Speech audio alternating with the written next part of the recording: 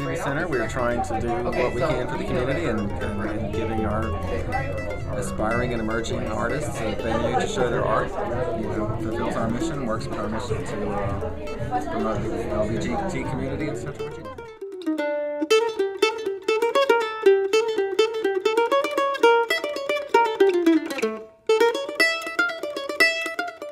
You know, I actually began this by accident. I was doing some decorative painting for a favorite client of mine. I'd done quite a bit of work for her, and she was interested in having some fabric work done because um, she couldn't make a decision on some decorative painting. So I kind of explored the concept. I ended up in nice fabrics to work with, and I thought I'd probably just stretch them across canvas frames or something.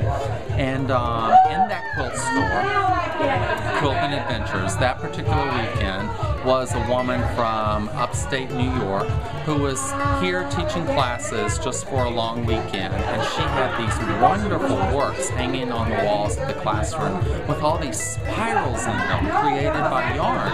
And I was fascinated with them. Well, she was teaching that class on Monday, so I said, sign me up.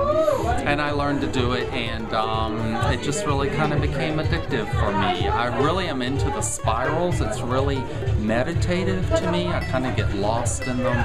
And I love the way that once I have a piece quilted, um, which would be kind of a finished product on its own, then I get to layer different textures and different colors all upon that and just build and build and build with um, lots of different um, just colors and textures dancing together what we got at the end. Um, the hard part a lot of times is knowing exactly when to quit, but um, I really do get carried away.